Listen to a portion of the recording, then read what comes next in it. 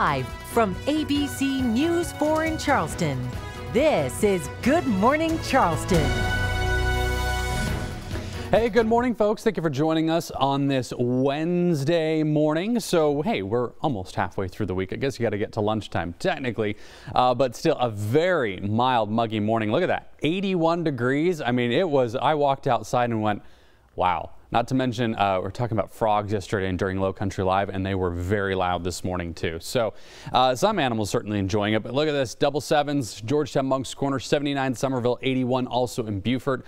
Dew points are in the mid to upper 70s, so there certainly is more humidity out there. And uh, satellite radar relatively calm right now. You do see some clouds into Georgia, so we'll have kind of mixed cloud cover once again, but Futurecast is hinting that with that humidity, we will get some storms firing up later on this afternoon. Now, questions, of course, go, will they hit your house? Well, this model's showing them more into Colleton County. Other model we'll show you here coming up, a little bit different story, and we'll have those details, but in general, expect a chance of afternoon storms. Like I said, we'll have the full Futurecast and your extended forecast coming up. Good morning, Charleston. I'm Tessa Spencer. Thank you for joining us. There's been another shakeup within the Charleston County School District. CCSD confirmed yesterday that Chief of Staff Erica Taylor is no longer working for the district.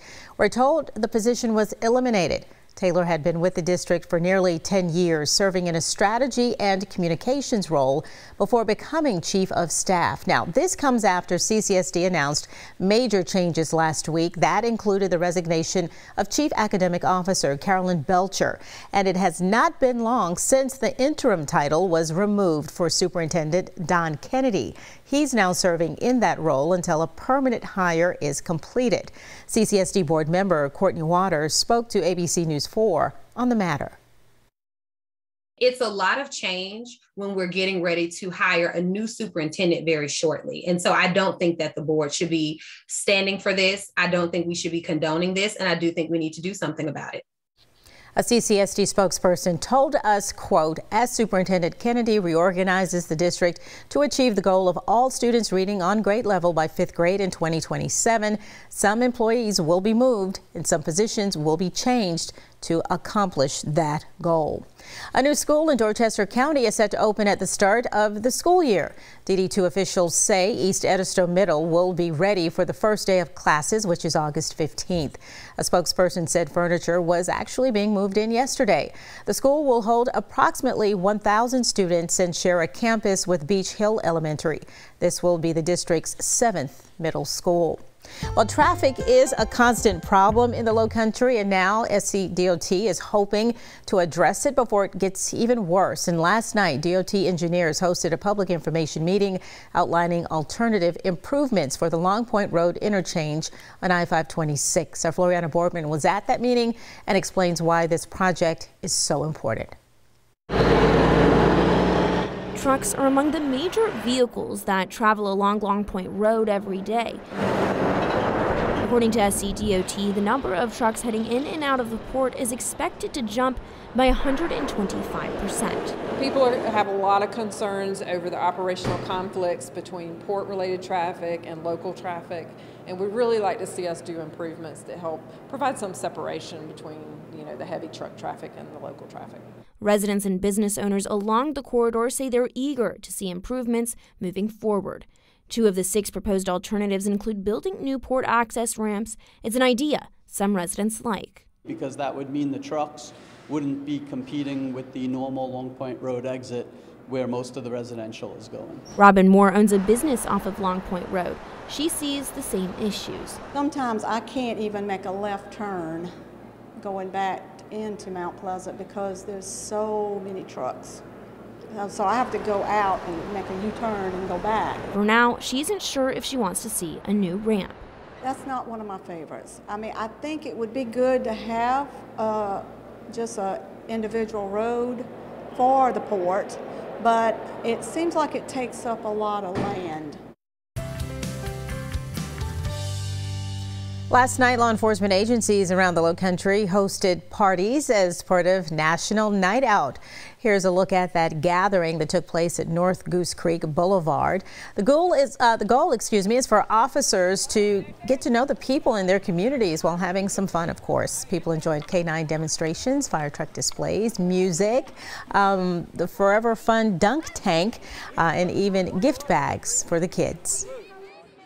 And unfortunately, a lot of people don't come in contact with us unless they need us for an emergency, for a horrible situation. So it's events like this that allow the community to see us in a different light, to realize that we are people too. When we're here, we're approachable, we're able to be talked to, and we're here for the citizens of Goose Creek. I love that jam they're playing in the background. The annual event looks to strengthen the relationships between the police and the people they protect. Now to a deadly discovery in Summerville. 66-year-old Randy Moore is charged with abuse or neglect of a vulnerable adult resulting in death. Police say a man in Moore's care was living in poor conditions at a home on Lily Place. That man was found dead when officers were called about CPR in progress July 24th. The name of that man who died has not been released. Moore was booked into the Dorchester County Jail. In Dorchester County, a man is facing charges after cashing in stolen scratch-off tickets. According to SLED, John Johnson of Harleyville received $185 from a gas station after passing four stolen lottery tickets. Johnson is charged with four counts of intent to defraud the lottery and was given a 10,000 bond for each charge. He's already facing charges in the murder of a man near St. George back in December. Johnson was released last Thursday on a $250,000 bond. How South Carolina carries out the death penalty is being challenged in court. Four death row inmates are suing the state. What plays out in a Columbia courtroom this week just might determine the future of the death penalty in the Palmetto State. Kelsey Sanchez was there for day two of the trial and breaks down the details. It is without question that the death penalty is constitutional.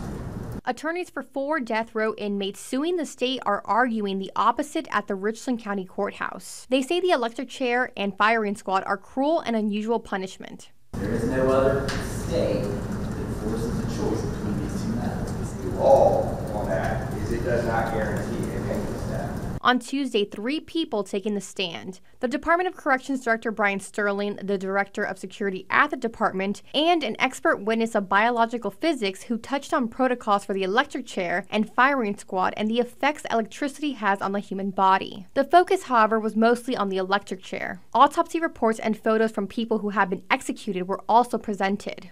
The case involves death row inmates Freddie Owens, Brad Sigmon, Richard Moore, and Gary Dubose. Last year, Governor Henry McMaster signed a law giving prisoners the option to choose between the chair or firing squad. Moore and Sigmon were set to be the first executed in South Carolina since the state put a 10 year pause after the supply of lethal injection drugs expired in 2013. The last person to be executed in South Carolina was in 2011. Right now, there are 34 inmates on death row in South Carolina.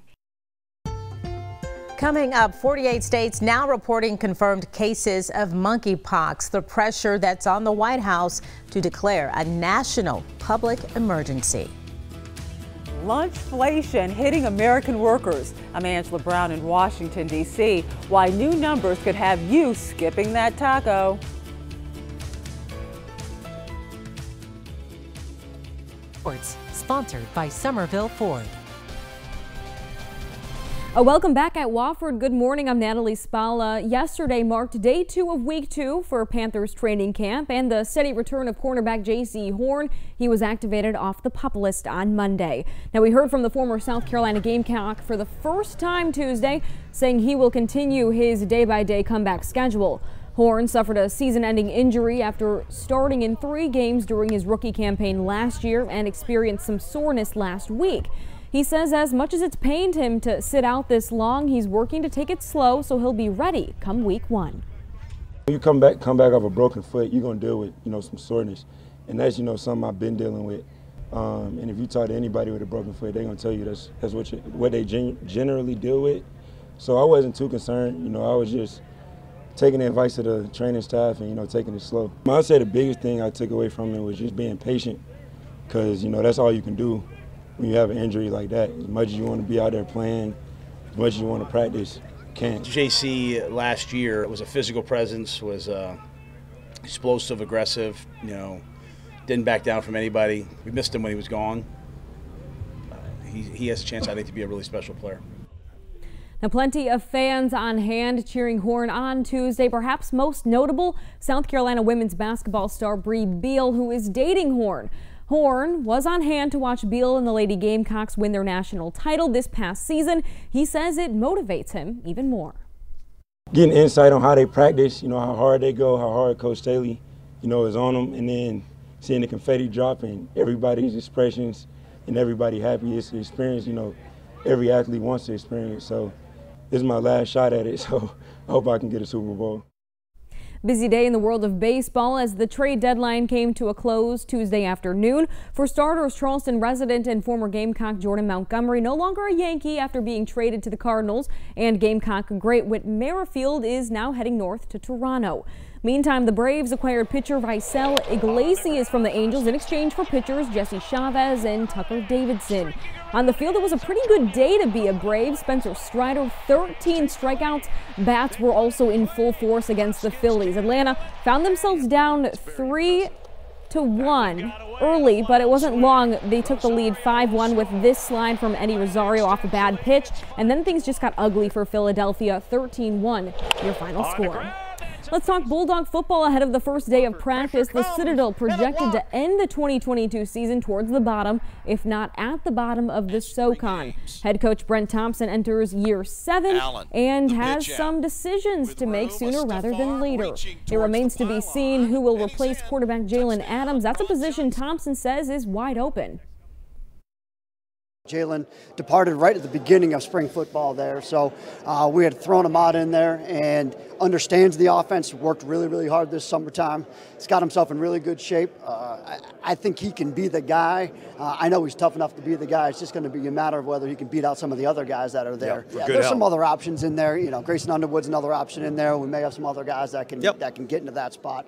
Uh, but it is wide open right now, and we're, we're, we're going to test it out to see what's going to be our, our best. Now, the Citadel start practice later on this morning. Our Scott Eisberg will be there bright and early and have more on this team during sports at 6 o'clock tonight. That'll do it for sports for now. Have a great day, everyone. Now, on Good Morning Charleston, we're working for you with a storm tracker update. Hey folks, so today we are finally starting to see a little bit of a change. It's been pretty dry the past couple days, and yeah, we've had a few spotty showers here and there, and some of you have had a couple downpours, but a lot of folks that are looking at their grass going, Where's the rain? We need it. Uh, August is typically one of the wetter months of the year. In fact, it is the wettest month on average here in Charleston. Uh, and we're going to start to see that trend pick up. Now, you saw right now it's a very warm morning. And uh, generally speaking, 90s are going to stick around, though we're talking more low 90s instead of mid 90s, courtesy of those afternoon and evening thunderstorms. It's still going to be pretty warm and muggy out there. That ocean temperature, of course, making a big difference. But we're in the upper 70s right now, 80 degrees Charleston, dew points in the mid to upper 70s. And that is the big difference is once you start to get over that 75 mark, nothing special about it other than that's when us as humans really start to notice it. So yeah, you step outside, it's a bit of a wall for you. But satellite radar, generally speaking, showing a lot of clear skies across South Carolina. Clouds into Georgia, a couple showers just outside Atlanta. Uh, for us, though, we'll start to see those later on this afternoon. But 94 Charleston, Summerville, 93 Moncks Corner, uh, upper 80s for the immediate coastline. That heat index, because the humidity is higher, is actually going to be similar to yesterday, even though temperatures will be just a tad cooler. But there are those afternoon storms. So here's 1 o'clock. The sea breeze making inroads fairly quickly. So if this plays out, I mean, even by 4 o'clock, yeah, maybe Moncks Corner, Summerville seeing a few showers, but downtown Mount Pleasant, you guys will be done by this afternoon. And uh, overnight, not looking too impressive, though maybe a little something tomorrow morning. So uh, crossing fingers that we do get some rain. The afternoon cool down always welcome but then also, of course, that'll help green up the grass. Uh, speaking of this evening, 75, 77, maybe a stray shower or two. And uh, looking at uh, rain chances, again, they kind of bounce around a little bit, but notice how they pick up in the weekend. Yeah, especially Sunday, I say is going to be an umbrella day. So maybe grab something before heading out to services, or if you're going to do Sunday brunch with the friends. Uh, grab that umbrella as well. The tropics still quiet. Again, it's been unusually quiet for July and early August. Not complaining, but we might start to see that change here in about a week, week and a half. We'll have to kind of see if that trend holds. But there's the extended day. Again, Sunday probably looking the wettest and coolest in the next seven days. Well, need a ride? Call an Uber. Say craving your favorite pizza from that place on the corner? Uber Eats. Need groceries delivered? You can also do that through Uber. And it's easy to see why the rideshare and food delivery company is really killing it right now. Even with higher gas prices and soaring inflation, Uber isn't slowing down on its rebound from the worst days of the pandemic. The company says the number of people using the app is at an all-time high. The British energy giant reported its biggest quarterly profit in nearly 15 years, raking in $8.4 billion between April and June. This follows similar profit peaks from other oil giants. President Biden often blasts big oil for holding up production. Why aren't they drilling? Because they make more money not producing more oil. The price goes up, number one. And number two, the reason they're not drilling is they're buying back their own stock but Big Oil says there's a good reason for holding back, namely concerns about future supply. Experts believe rules, regulations, and laws could soon put a clamp on demand, leaving energy companies with too much supply. They want assurances that prices will not crater in a few days, weeks, and months. While employees are returning to the office, are they're facing sticker shock from salads to your favorite wrap. Lunch is costing more. Angela Brown has the numbers and breaks down the cost hike. The term is called lunchflation. Overall, the average cost of some of your favorite lunchtime foods has gone up 7%, and that could be on the low end. It's costing you more to drive to work and really just be at work. It seems like you can't really get a lunch for 10 bucks anymore, uh, whereas a couple of years ago, um, that was pretty easy. It's no secret. Food is more expensive. Now, researchers from Square, a payment processor, are putting numbers on it, tracking how much more you are paying for popular lunch foods. Sandwiches up 14%, tacos jumping by 12%, salads 11% more. Mark Hamrick, Bankrate. As people have returned to work to the extent that they've gone back to the office, they may have suffered some sticker shock when they see that the price of a salad or a sandwich at a local business is higher than it was before. The financial pain goes both ways. Restaurants are paying more for food and ingredients. Alex Biggers works at a bakery. I make bread, right? So like we've had a lot of issue getting honey, getting packaged yeast, getting like chocolate chips or whatever. Overall, the cost of food is up 10.4% from last year. Dining out, up nearly 8%. Lunchflation coupled with gasflation is driving up frustration, but Bigger says don't take it out on your server. It's not the fault of the workers that you are talking to, and to blow up at them, or rather to get frustrated with them, is just annoying people that have come there to do their job to help you get what you need throughout the day. The pandemic really crippled the restaurant industry. There was a labor shortage. People quit their jobs. Other people were laid off. Supply chain issues drove up the cost of food and ingredients, and some of those costs were passed on to you. Reporting in Washington, D.C., I'm Angela Brown.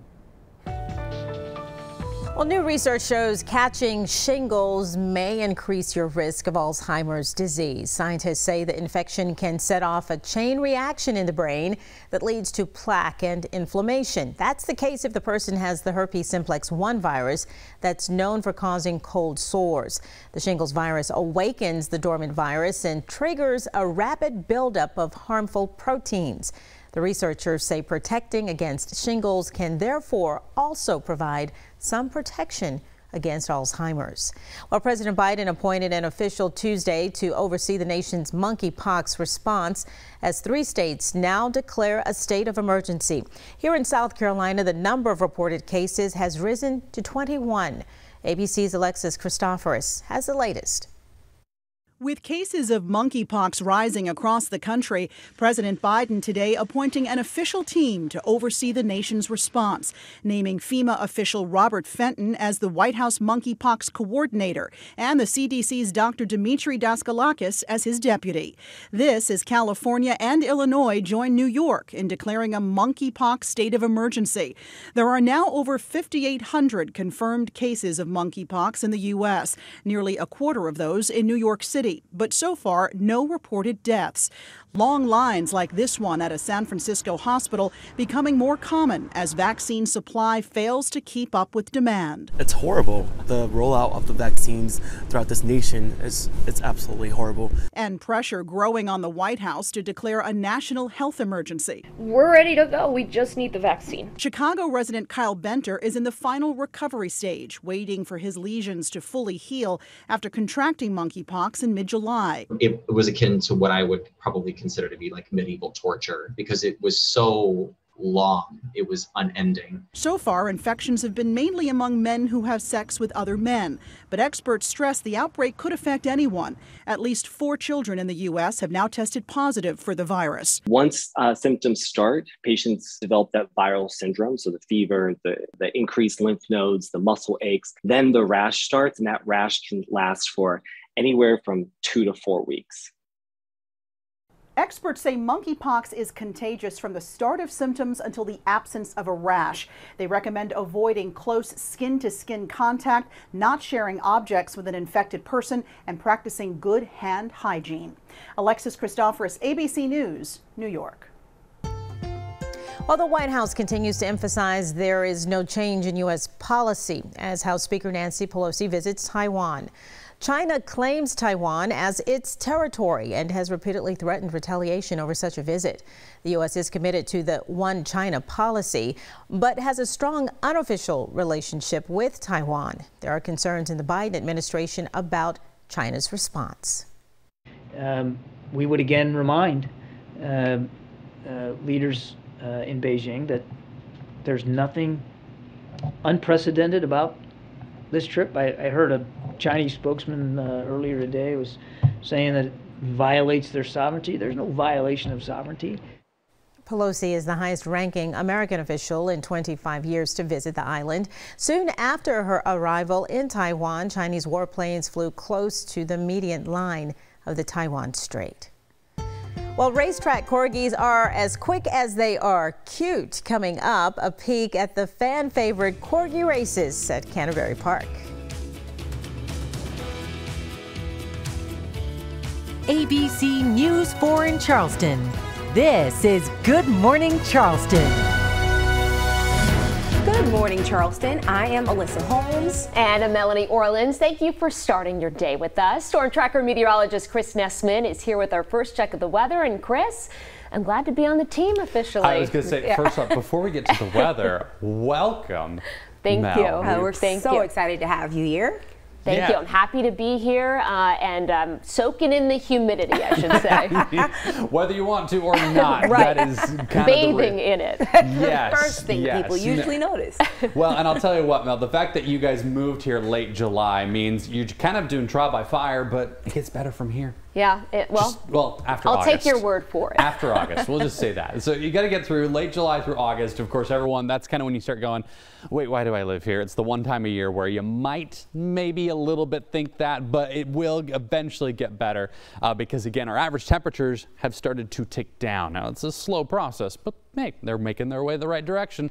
81 degrees currently Mount Pleasant, so it is a very muggy start. 80 Charleston, 79 Summerville, 77 Moncks Corner. Dew points, and that's the big factor. They're over that 75 mark, so you kind of just feel it when you walk outside. Overall, though, not seeing a lot in the way of satellite radar, uh, but one difference compared to yesterday, the sea breeze actually looks like it's going to kick up some storms. So 94 this afternoon, but those afternoon thunderstorms might bring some relief. We'll take a look at that on Futurecast coming up. But first, let's get an update on our roads with our trooper Bob. Hey Bob, good morning and happy Wednesday to you. Hey, good morning. Happy Wednesday to you too, Alyssa and uh, Mel. Welcome to the morning show. Happy to have you here. And good morning, everyone. Let's go right to the roadways. Just turned off of 61 onto uh, Bees Ferry Road. If you're making your way out from Summerville down towards 61 uh, into the city, you're not going to have any issues. Or out to uh, Main Road, West, Seabrook Islands. You can see right in front of me. Very uh, actually no traffic on this side of town. Interstates are looking good. 26, 5, 26. Areas of construction that are wrapping up right now. They're expected to be out of the roadway here as we speak in uh, just a couple minutes. That's going to be 194 mile marker right around Jedburgh and also the eastbound side of 26 right near Ashley Phosphate. This ABC News 4 traffic tracker update was sponsored by Mr. Sparky, America's on time electrician. It's a job where every second matters, but officials with Charleston County say there's a critical need for dispatchers. For more, we send it over to our Sean Mahoney, who jo joins us live outside of the 911 call center in North Charleston. Good morning, Sean. How urgent of a situation has this shortage created? Hey, good morning, Mel. First off, glad to have you joining us on Good Morning Charleston. You're going to be a great addition to this team. But you guys might be noticing that I'm talking to you guys through a different sort of microphone today. This type of headset is what workers in the call center right behind me put on every day to be on the front lines of some of those calls with people in their most dire time of need. But with vacancies of 47 open slots here at this call center. Well, these workers, they have to put on this headset uh, a little bit longer than they usually would. And officials with the call center say that that could affect response times to the citizens here in Charleston County. Now, uh, approximately three quarters of calls, according to Charleston County officials, are answered in 15 seconds or less. Now, the rest, they may get put on hold until an operator is available. Now, this is because the call center currently only has enough staff to fill the minimum number of, of needed uh, call telecommunicators for each shift. Now, it's been so bad, many employees have to work 12 and a half hour shifts. And what that does, employees say it creates burnout and burns through taxpayers' wallets. We approximately, our department used um, approximately $2 million worth of overtime, just overtime last year in 2021 because of our staffing. Um, so that overtime not only taxes the citizens, but it also taxes our staff. Um, you know, not having that out of work time um, to get their get their life straight and all that stuff, spend time with family. Now, this time last year, the call center had 83 people working these phone lines. Now they only have 70 employees. And to put it in perspective, they need 117 to be at full staff. So what is the county doing to try and change that? Well, coming up in a half hour, we'll tell you about a new initiative by the county to try to get more people to walk through those doors. But for now, Mel, Alyssa, I'll send it back to you guys. All right, Sean, thank you. And officials with Charleston County say the call center received almost 900,000 calls just last year. Now, traffic is a constant problem in the low country. Now the SCDOT is hoping to address it before it gets even worse. DOT engineers hosted a public information meeting outlining alternative improvements for the Long Point Road interchange on I-526. Now, two of the six proposed alternatives include building new port access ramps. Now, the goal of this proposal is to divert trucks away from the existing Long Point Road exit. Now, this is an issue that residents worry about. Make a left turn going back into Mount Pleasant because there's so many trucks. Uh, so I have to go out and make a U-turn and go back. Now, despite this issue, Morse did say that she isn't sold on the idea of a new ramp quite yet. SCDOT will have more public comment in December once they have a preferred alternative. Now, construction could begin by 2024. 506 right now. Another shakeup within the Charleston County School District. A spokesman confirms Chief of Staff Erica Taylor is no longer working for the district. We're told the position was eliminated. Taylor had been with the district for nearly 10 years, serving in a strategy and communications role before becoming Chief of Staff. This comes after CCSD announced major changes last week, including the resignation of Chief Academic Officer Carolyn Belcher. The interim title was removed for Superintendent Don Kennedy. He's now serving in that role until a permanent hire is made. CCSD board member Courtney Waters spoke to ABC News 4 about this. It's a lot of change when we're getting ready to hire a new superintendent very shortly. And so I don't think that the board should be standing for this. I don't think we should be condoning this. And I do think we need to do something about it. A CCSD spokesperson told us, quote, as superintendent, Kennedy reorganizes the district to achieve the goal of all students reading on grade level by fifth grade in 2027. Some employees will be moved and some positions will be changed to accomplish that goal. Now, what plays out in the Richland County Courthouse in Columbia this week just might determine the future of the death penalty in the Palmetto State. Attorneys for the four death row inmates suing the state are arguing that the death penalty is not constitutional and the conditions of execution in South Carolina are cruel. Right now, those sentenced to death in South Carolina have the option between the electric chair or a firing squad. Now, there are currently 34 inmates on death row in South Carolina. Okay, we are looking at an increase in rain chances. We'll have the latest in your full weather forecast coming up. A big effort to try and contain the spread of the monkeypox virus. I'm Liz Bonis with the new monkeypox response team expected to do. It is just ahead. Watching the show since the top of the hour, you have seen a new face on the set today. Today is the first day for Mel Orlins. She will be the new co-anchor on Good Morning Charleston, joining us. If you can't tell, we are excited to finally have a full team. Thank you. It's been a while. So, I'm so happy to be uh, here. I'm so happy to work with the both of y'all. You guys have been so welcoming and just, you know, people I've met so far being in Charleston have been so welcoming. I'm originally from Virginia and I'm finally back in the South Yeah. after what seems like way too long. uh, 11 years it's been. So I'm so happy to be back in the South. Um, and yeah, working with y'all. So tell us about yourself. We're looking at some pictures of you, obviously. So the- Beautiful wedding dress. here. Thank you. So these are my my parents. Well, these aren't my parents. These are my um, my best friends from. Uh, from high school and my mom, um, and that's my sister-in-law. We recently did a trip to Big Sur in uh, California, and there's my dog Sue. Aww. And she, like her mom, is a big Florida State fan. I went to FSU, but here's proof. That's my uh, one of my good friends. She had a Clemson sweatshirt on, so I can get along with Clemson friends, Ah, fans, that's, uh, which is good because I'm I in mean, South it Carolina. Might, it might be good, but I. Uh, You are And you went talking to a USC. Yeah, so I mean. This is perfect. we need the rivalry here. a friendly rivalry, yeah, right? yeah, it's always friendly.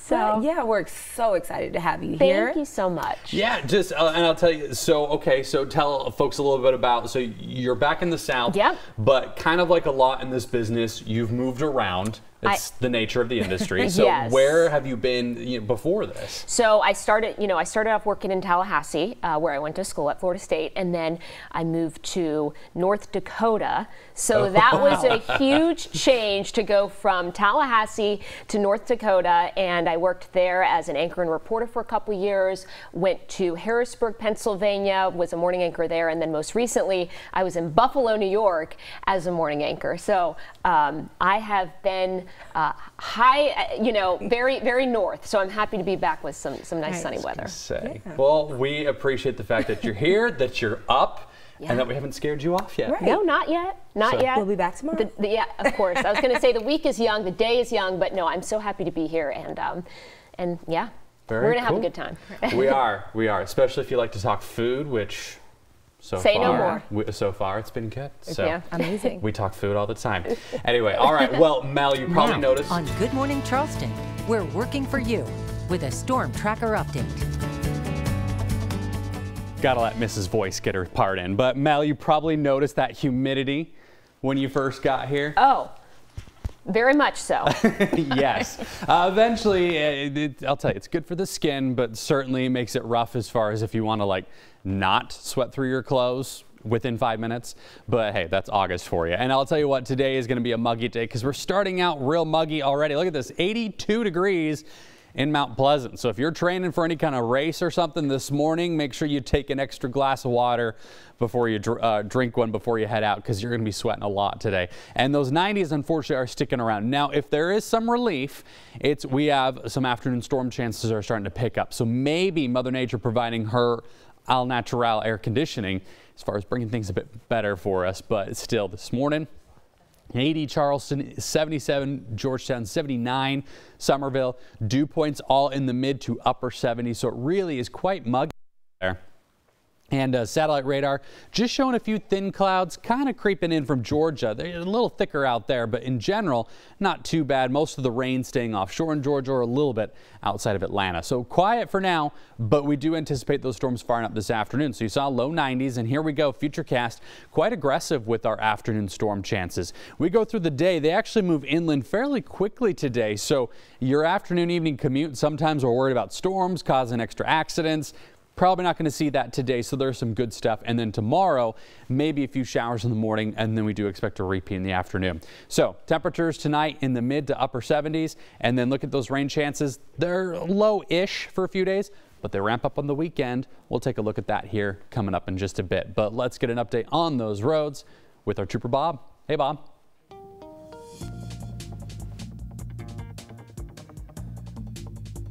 Hey Chris, there's a live look at Ashley River Road. If you're heading into uh, downtown, no delays on the interstates. They did wrap up that construction around the 194 Jedburg and also uh, right there before Ashley Phosphate. So they are out of the roadway. 526 looks good from Mount Pleasant over towards West Ashley and vice versa. No delays. Everything's right at interstate speeds. And some good news, no incidents or wrecks to tell you about. And as Bob mentioned, uh, those uh, roads are pretty clear, so the drive time's all sitting pretty at or below that 20 minute mark. Summerville to downtown, a smooth and beautiful green 19 minutes. This ABC News 4 traffic tracker update was sponsored by Mr. Sparky, America's on time electrician. 516 right now, the White House is stepping up efforts today to stop the spread of the monkeypox virus. Uh, they've just launched a monkeypox, monkeypox response team to provide more resources nationwide. Our medical reporter Liz Bonis explains what that means. Hey there, hello to you. This team, all an effort to try and curb this outbreak. Monkeypox hitting nearly 6,000 cases in the U.S. so far and is now in 48 states, including Washington, D.C. and Puerto Rico. This same disaster relief workers for everything from bad weather to coronavirus now taking on monkeypox. The head guy to stop the spread, Robert Fenton, an administrator with the Federal Emergency Management Agency, or FEMA as it's known. The CDC's head of HIV prevention also helping in the response. Here's why. Currently, what we're seeing in the United States is that the population most affected right now is men who have sex with men. Because of that, here's what we all need to know. Monkeypox is spread through close, intimate skin to skin contact with someone who has monkeypox. So the chances of you just going into the community today and getting monkeypox remain extremely low. But here's why the White House is also stepping up efforts today to expand vaccine availability and testing. You know, it's really concerning. I think the opportunity to have contained this virus may have been lost. As Dr. Thomas Lamar told me, that may be true. Look at this CDC map. Three states now declaring a medical state of emergency. They have nearly half of those 6,000 cases. Illinois has 520. California 827, New York, the epicenter, nearly 1400. We estimate that we have up to 150,000 people here in New York City who might be at risk for getting or transmitting monkeypox under the current criteria for vaccination. So we have work to do to get to that number. The concern, of course, is that this virus will spread beyond the gay and bisexual community. Four children have already tested positive for the virus. It's a pretty miserable infection. Uh, fortunately, it's not nearly as contagious as COVID-19, but it makes people feel terrible. About one in 10 who do get this virus will be hospitalized because of the pain and to isolate from others. In most cases, however, it does resolve on its own. I'm medical reporter Liz Bonis. Now back to you.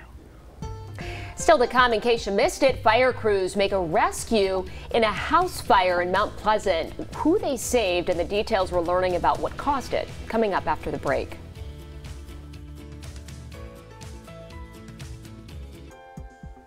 522 right now. Let's take a look at some important stories that you might have missed. Crews from Mount Pleasant and Charleston fire departments put out a house fire caused by an unattended tea kettle yesterday.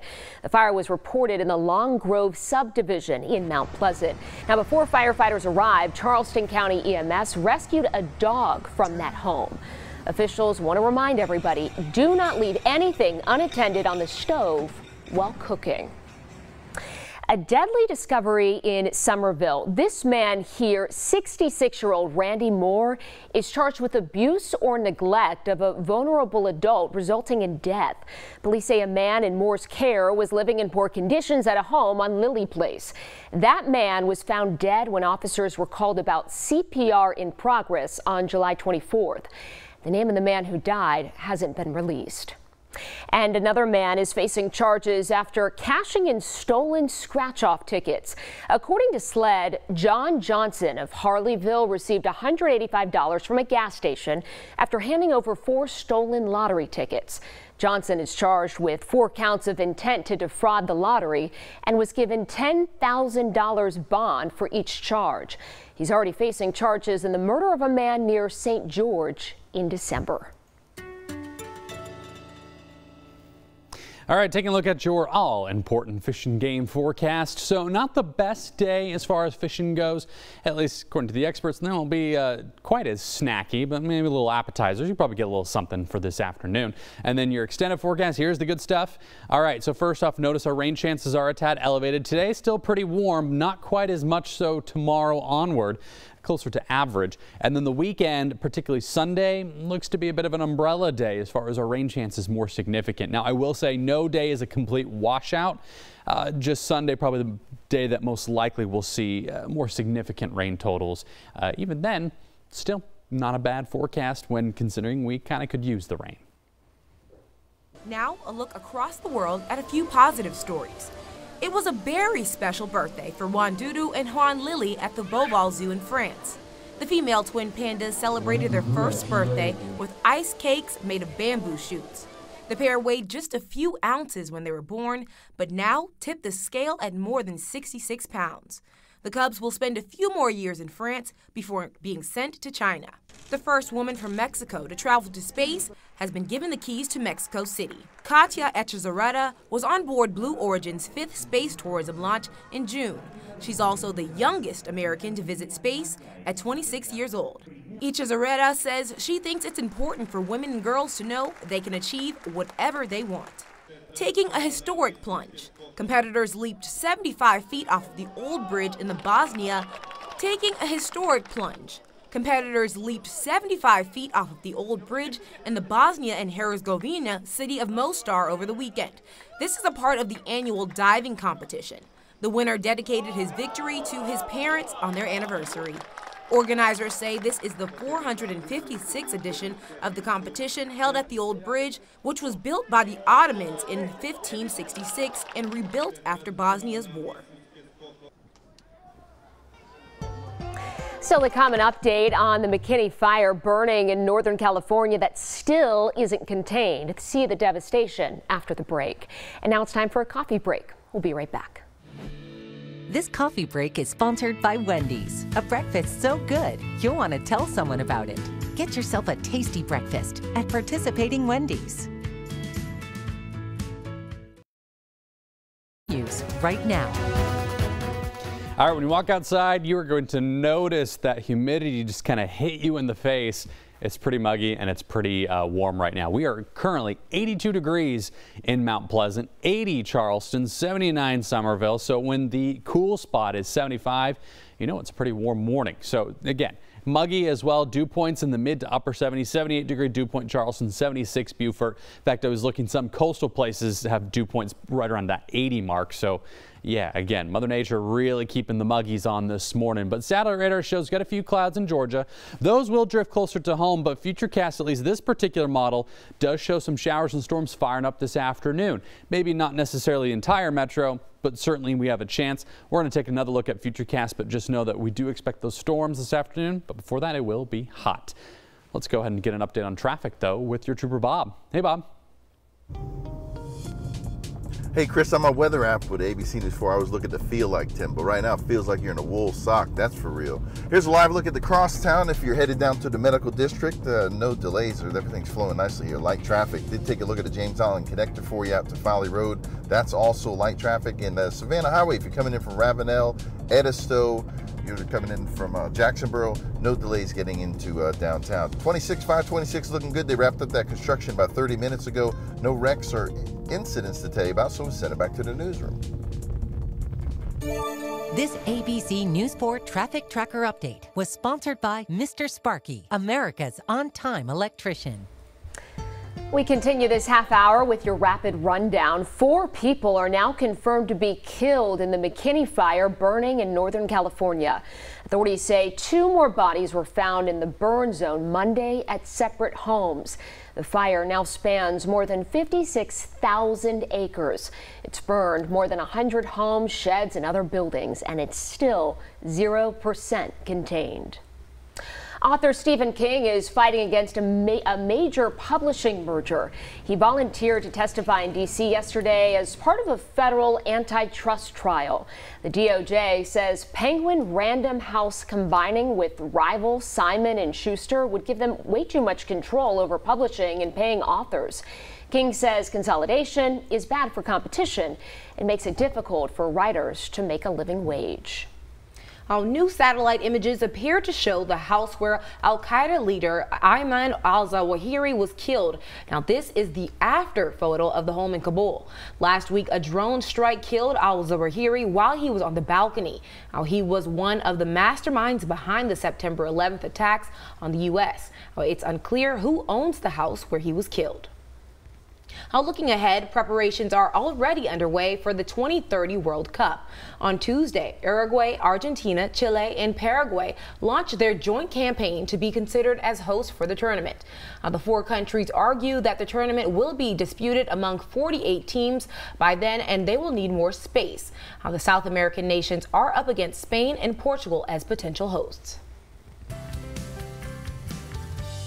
532 right now. Charleston County officials say a worker shortage at the 911 call center has reached urgent levels, which is why the county has changed its approach to recruit new dispatchers. And for more, we send it over to our Sean Mahoney, who joins us live outside of the Consolidated Call Center in North Charleston. Now, Sean, what has the county done to get more people on the phones? Hey, good morning, Mel. Good morning, Alyssa. Well, a lot of the employees at this call center, they work 12, 12 and a half hour shifts. Most of those hours they work, well, it comes in the form of overtime, which has led to a lot of those employees uh, getting burnout, which is part of the reason why the call center has seen a 15% decrease in the amount of employees manning the phones over the past year. But Charleston County officials say they have changed some of the features of the job to get more people to put on the headset and walk through those doors. Now, one of the features they had changed of this job is raising pay of telecommunicators at the call center to almost $20 an hour. Uh, and they also switched the work schedule for a lot of the operators to eight hour shifts instead of the current 12 and a half hour shift. Now, officials say more employees will help create a smoother process on both ends of the phone. It is urgent. I think our staffing is is always a high priority for us, um, making sure everything is together so we can serve our community. Um, but at this point, it is definitely urgent um, due to our staffing. It would take a lot of overtime and weight off of our current staff, um, as well as be able to help us serve the community better, more efficiently, now, the county created Work for 911 Wednesdays as a social media push to bring more awareness to open positions, part of their new initiative to try to get more people through those doors. And starting today, they will hold a new wave of interviews for these vacancies. And that starts today at around 8 o'clock this morning. Now, to apply, you don't, there's no qualifications that you need or prior experience that you need at a call center. All you need is a high school diploma or a GED. And if you want more information about these job openings and this new initiative by Charleston County, you can head over to my Twitter page and Facebook page at Sean Mahoney TV. I'll, I'll have the information posted on there shortly. Working for you this morning from North Charleston, Sean Mahoney, ABC News 4. All right, thanks, John. Now, here are the dates for all of the interview periods for the call center. Officials with Charleston County say they will be held at the Public Service Building in North Charleston from 8 a.m. to 4 p.m. Making a bold statement, House Speaker Nancy Pelosi and a congressional delegation are in Taiwan today. Well, she says the visit symbolizes U.S. support for the self-governing island. But as Amy Kiley reports, American officials say the trip doesn't change the U.S. position on Taiwan. We come in friendship. We thank you for your leadership. We want the world to recognize that. House Speaker Nancy Pelosi is demonstrating that the U.S. stands with Taiwan And she's standing up to Chinese threats. Our response will be very firm, strong, and uh, forceful. She and a congressional delegation have been meeting with leaders in Taiwan today. We hope that the global alliance of democracy will stand with Taiwan. Pelosi is the highest ranking U.S. official to visit the island in 25 years. But the White House says that doesn't change the U.S. position on Taiwan. There's no reason for Beijing to turn this visit into some sort of crisis. The U.S. acknowledges Beijing's position that Taiwan is part of China, but it doesn't accept the Communist Party's claim of sovereignty over the self governing island. Pelosi is a long standing critic of China's alleged human rights abuses. That country is putting on a display of military force in response to her visit. China has every right to defend its sovereignty and territorial integrity. The White House tried to deter Pelosi from making the trip, but the visit is getting some bipartisan support. It's been unseemly and counterproductive for President Biden and his aides to have publicly sought to deter her. We have to step up and, uh, frankly, rally democracies around the world. Working for you, Amy Kiley, ABC 4 News. Now, Russia's Supreme Court is labeling Ukraine's Azov Regiment a terrorist organization.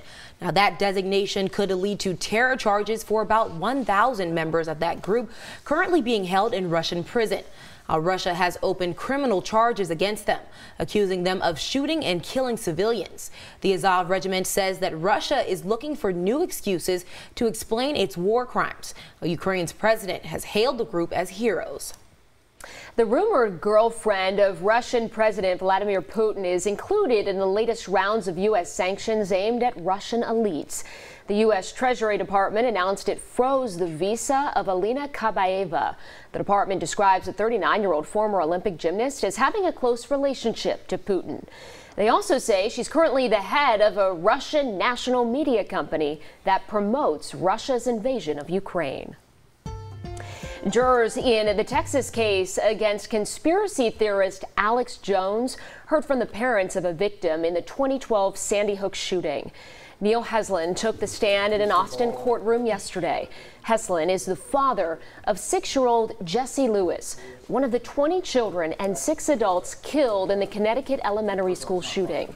He testified he wanted the litigation to serve as a deterrent for Jones, who claimed the mass shooting was staged. The jury will determine how much in damages Jones will have to pay to Heslin and Jesse's mother, Scarlett Lewis. The parents won a default judgment against Jones earlier this year.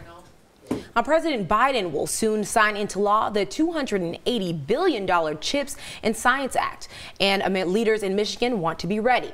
The governor signed an executive directive on Tuesday to make sure that the state is prepared to snatch up grants to bring new jobs and protect the auto industry. Gretchen Whitmer wants to bring chip manufacturers to Michigan.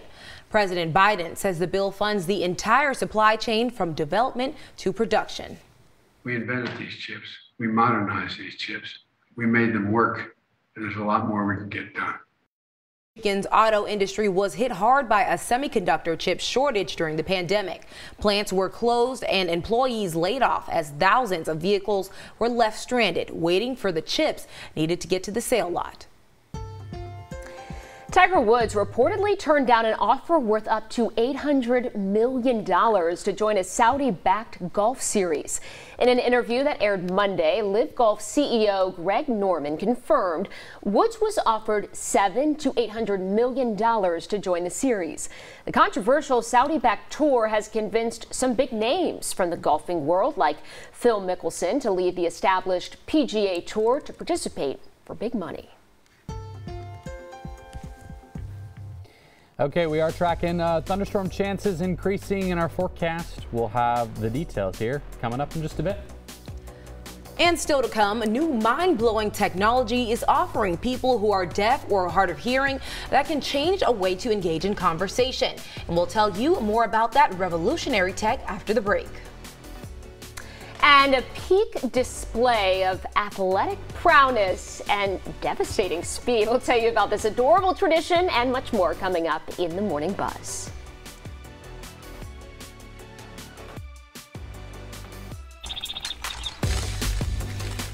Hmm? All right, hmm. time for the morning buzz. All right, you better grab an umbrella. Katy Perry is making it rain pizza. Now that's something I could get on board with, right? The pop star made a surprise appearance at a nightclub in Vegas, and of course, there she was enjoying some pizza. We just saw that. now that's when a few bystanders asked for a slice. Now I know I would, and Katy immediately obliged. Now one witness said her aim left a lot to be desired, though, saying it didn't seem like any of the slices actually made it to their targets. a lot of pizza to the face. I guess. It is yeah. okay. So it, it is a funny video because you watch literally every person like drops the pizza or it misses, almost hits someone in the face. I can't say I've ever caught pizza midair. Yeah. So. Mm, yeah. No. It must but, take a. Oh. I mean, the, I guess it's the thought that counts. Yeah. yeah. There you go. Okay. Oh, she gave out Tide pens as well. now to probably the cutest race you will see all year. In the spirit of competition, the drive to excel, and the desire for a treat, all of that was in the air at the annual Corgi race at Canterbury Park in Shakopee, Minnesota. I love this. 70, Shakopee, excuse me. 72 Fast and Furious Corgis gave it their all across six heats. Uh, some of them look like they even had their sport coats on. In the end, a zippy little guy named Teddy came out top dog. Congrats to Teddy and the rest of the competitors too.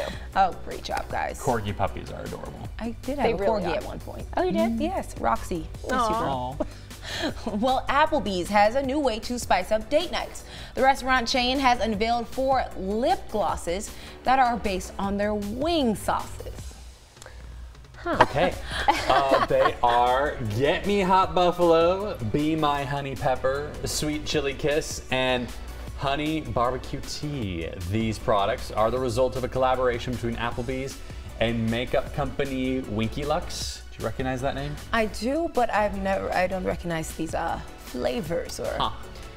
The gloss with sauce is only available on Winky Lux's website. Uh, get it while it lasts. Dude, uh, would you wear that? I think I'll leave it um, to others. I want everybody else to have the chance to experience it. How wanna, kind of you. Yeah, I don't want to take it for, all for myself. well, the topic of whether to have subtitles on a TV show is actually a common living room debate for some people. Now, though, you can add subtitles to real life, a technology, it's called XRAI Glass. This is actually really unique. It's a pair of augmented reality glasses that allows you to see your conversations in real time. Now, its purpose is meant to help people who are deaf and hard of hearing, but that's not all. Officials say the software will soon be able to translate different languages as well as communicate pitch and voice tones as well.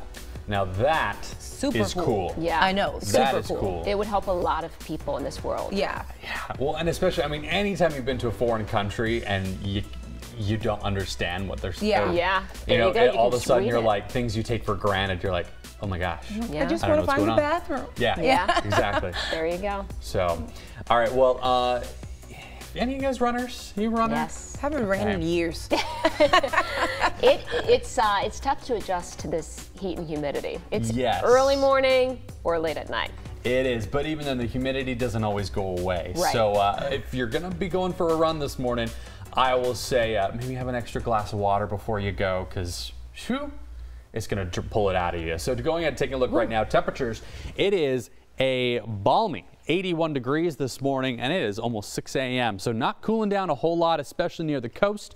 Uh, other places are a tad better, but even then it's still going to be pretty warm. Those 90s are sticking around for most afternoons. Now, one difference from what we've had, we've had a bit of a dry stretch. It hasn't been like as long as what we had in May and June, uh, but we're going to start to see some more afternoon storms, kind of keeping with the trend that August is typically one of the wetter months of the year for us, and Mother Nature is going to turn the faucet on a little bit. Now, warm and muggy nights will continue as well, but at least we might get some cooling from those storms, which, you know, that's always welcome. But 80 still Charleston right now. Same thing Beaufort, 75, Walterboro, 79, Summerville, and those dew points are in the mid to upper 70s as well. So it really is quite muggy when you step outside satellite radar showing that we are seeing a few thin clouds kind of start to drift in. So got, when I walked out this morning, just saw a couple puffy clouds, but I did see the stars. Might start to see a fewer of those as those clouds drift in. But in general, the rain's going to hold off until later today. But even then, still 94 Charleston, same thing Summerville, 93 Moncks Corner. And here we go, Futurecast showing right around 1, 2 o'clock, those showers and storms firing up. Maybe a few leftovers closer to town this afternoon, but honestly, it shows them moving inland fairly quickly. And then by 8 o'clock, we're pretty much done. So kind of an earlier start. And as we go through the day tomorrow, might even see a few morning showers, which would kind of be welcome either way. So tonight, small rain chances, temperatures in the 70s, upper 70s specifically, and our rain chances a little bit lower Friday, but look at that the weekend. Yeah, trending a little unsettled. We'll take another look at that coming up. But let's talk about those roads with our trooper Bob. Hey, Bob. Hey Chris, there's a live look at uh, 526 uh, westbound as we approach Don Holt Bridge. This is everything coming out of Mount Pleasant, coming up to uh, the north area here. A little heavier volume on the eastbound side. I've seen the same thing on 26 eastbound. But good thing is, school's still not in, so you're seeing lighter traffic than you normally would about three weeks from now. No incidents or wrecks to tell you about. Looking good also coming out of Goose Creek if you're taking Highway 52 out to the connector. This ABC News 4 traffic tracker update was sponsored by Mr. Sparky, America's on time electrician. And for the latest on what's happening in Hollywood, here's ABC's Jason Nathanson. Visual effects create the magic that makes people want to go to the movies.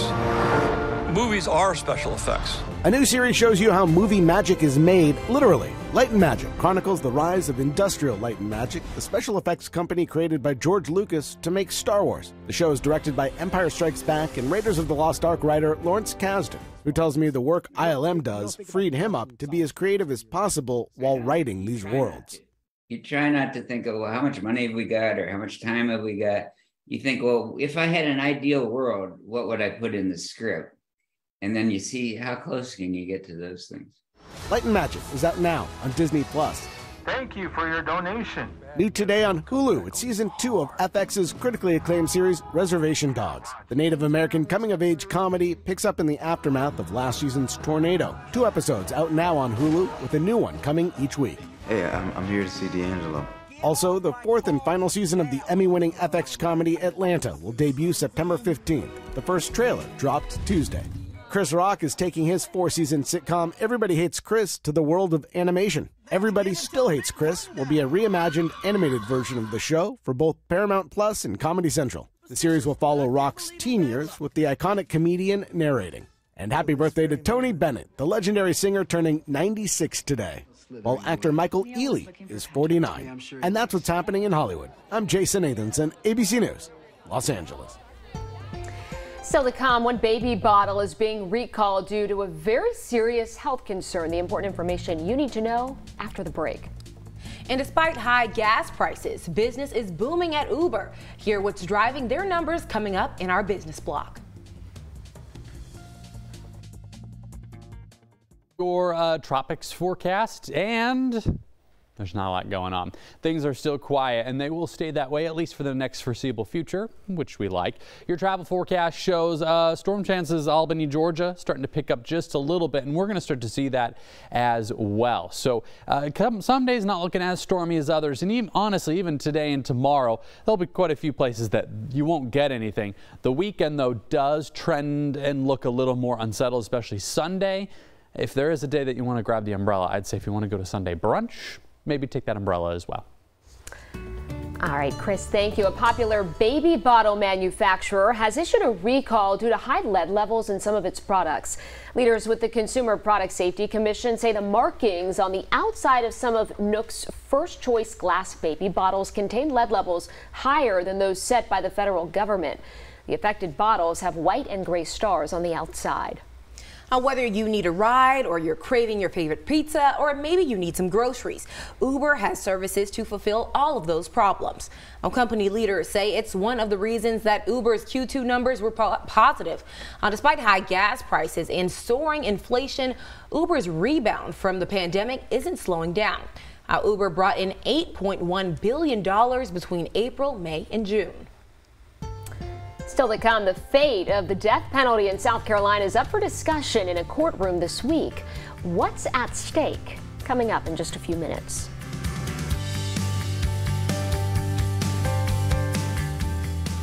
from ABC News 4 in Charleston, this is Good Morning Charleston. Well, good morning, Charleston. I'm Melissa Holmes, and we have a new face here. Yes, I'm Mel Orlins. so happy to be here. And of course, we thank you for starting your day with us. And Chris Nessman, storm tracker meteorologist, here with our first check of the weather. And uh, uh, Chris, I've been in Charleston for a little more than a week now, and the humidity every morning just smacks me right in the face. Yeah, I, I still remember first summer we moved here, my wife and I went, what did we just do? you know, we came from out west, which is real dry. Yeah.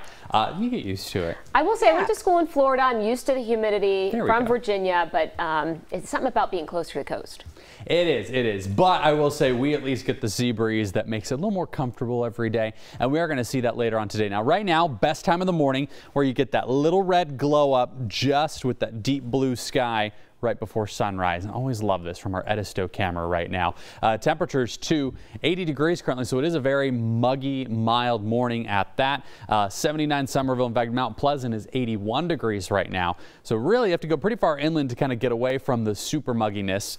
That's what we're going to go with this morning. A lot of places with those upper 70 dew points. Now, the satellite radar showing we got a few clouds and a couple showers outside of Atlanta right now. We are going to see a few of those clouds drift in. Uh, Futurecast back set up. It also kind of shows that we'll start to see a few showers and storms pop up this afternoon. Now, of course, the question is, Who's going to get it? Well, a lot of folks inland might, but closer to the coast, your chances are lower. We're going to take a look at a different Futurecast model, kind of update it and kind of take a look at that. But just know that today will top out about 94 degrees. Let's go ahead and get an update on those roads with our trooper Bob. Hey, Bob. Hey, good morning, Chris. Good morning, Lisa. Good morning, everyone. Good morning, Mel. Thank you for uh, coming to the morning show with us. We're happy to have you. excited there. Here's a live look at uh, Dorchester Road right here, Joint Base Charleston. If you're coming down from Oak Brook, this is what traffic looks like coming towards me. You're not going to have any issues uh, if you're headed out towards the base. We salute you for your service. Same thing on Red Bank Road. No delays out towards uh, the Navy base. Bridges look fine. Arthur Ravenel, Wando, and Don looking A-OK in both directions. Everything flowing right there at interstate speeds and no crashes to tell you about. Right now, let's check in with Chris on the drive times. All right, hey, thanks, Bob. And those drive times, per usual, sitting pretty. It's easy being green, at least when you're talking about traffic uh, road conditions. So no big problems to speak of, at least not with these times. This ABC News 4 traffic tracker update was sponsored by Mr. Sparky, America's on time electrician. 602 right now, and it's a job where every second matters. But officials with Charleston County say there's a critical need for dispatchers. For more, we send it over to our Sean Mahoney, who joins us live outside the 911 call center in North Charleston. Good morning, Sean. And just how urgent of a situation has this shortage created? Hey, good morning, Mel. Well, you might notice the different set of uh, microphone that I'm using to talk to you guys today. Well, it's headsets like these that operators here at the call center in North Charleston for Charleston County use every day. But a worker shortage that has left 47 open positions here at the call center has forced some of these employees to wear this headset a little bit longer, which can be a little taxing for the ears if I do say so myself, but it also could affect response times to some of these people calling in their most dire time of need. Now, officials with Charleston County say on average, a little over three quarter of the calls that come in to the call center get answered in under 15 seconds, but those that don't well, they may get have to get put on hold until an operator is available. This is because the call center currently only has enough staff to fill the minimum number of operators needed for each shift. Now, it's been so bad, many employees have had to work 12 and a half hour shifts to pick up the slack, which employees say burns them out and also burns through taxpayers' wallets. We approximately our department used um, approximately $2 million worth of overtime, just overtime last year in 2021 because of our staffing. Um, so that overtime not only taxes the citizens, but it also taxes our staff, um, you know, not having that out of work time um, to get their get their life straight and all that stuff, spend time with family. Now, this time last year, the call center had 83 people working the phone lines. Now they only have 70 employees. And to put it in perspective, they need 117 to be fully staffed. So, what is the county doing to try and change that statistic? Well, coming up in a half hour, we'll tell you about a new initiative by Charleston County to try and get more people to walk through those doors. But for now, Mel, Alyssa, I'll send it back to you guys. All right, Sean, thank you. And officials with Charleston County say that the call center received almost 900,000 calls last year. Another shakeup within the Charleston County School District. A spokesman confirms Chief of Staff Erica Taylor is no longer working for the district. We're told the position was eliminated. Taylor had been with the district for nearly 10 years, serving in a strategy and communications role before becoming chief of staff. This comes after CCSD announced major changes last week, including the resignation of Chief Academic Officer Carolyn Belcher. The interim title was removed for Superintendent Don Kennedy. He's now serving in that role until a permanent hire is made. CCSD board member Courtney Waters spoke to ABC News 4 about this. It's a lot of change when we're getting ready to hire a new superintendent very shortly. And so I don't think that the board should be standing for this. I don't think we should be condoning this. And I do think we need to do something about it. A CCSD spokesperson told us, quote, as superintendent, Kennedy reorganizes the district to achieve the goal of all students reading on grade level by fifth grade in 2027. Some employees will be moved and some positions will be changed to accomplish that goal. Now, what plays out in the Richland County Courthouse in Columbia this week just might determine the future of the death penalty in the Palmetto State. Our attorneys for the four death row inmates suing the state are arguing that the death penalty is not constitutional and the conditions of execution in South Carolina are cruel. Right now, those sentenced to death in South Carolina have the option between the electric chair or a firing squad. There are currently 34 inmates on death row in South Carolina. This afternoon, South Carolina Department of Health and Environmental Control is going to hold a statewide media briefing to provide an update on the status of monkeypox across the state. Dr. Linda Bell, a state epidemiologist, will speak at this briefing. According to the CDC, South Carolina has 23 confirmed monkeypox cases as of yesterday. North Carolina has 69. Okay, starting to see things glow up a little bit this morning, and we are looking at maybe a few thunderstorms this afternoon. We'll have the latest with a new update from Futurecast here coming up. And a mishap sent a paraglider plunging to Earth with his parachute tangled up. ABC's Gio Benitez has the details in today's GMA First Look.